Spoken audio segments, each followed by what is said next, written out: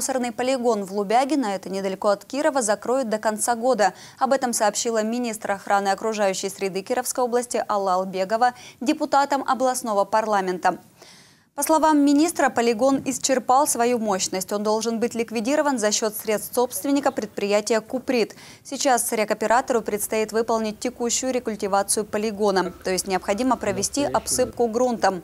Затем стартует финишная рекультивация. Она может длиться до пяти лет после закрытия свалки.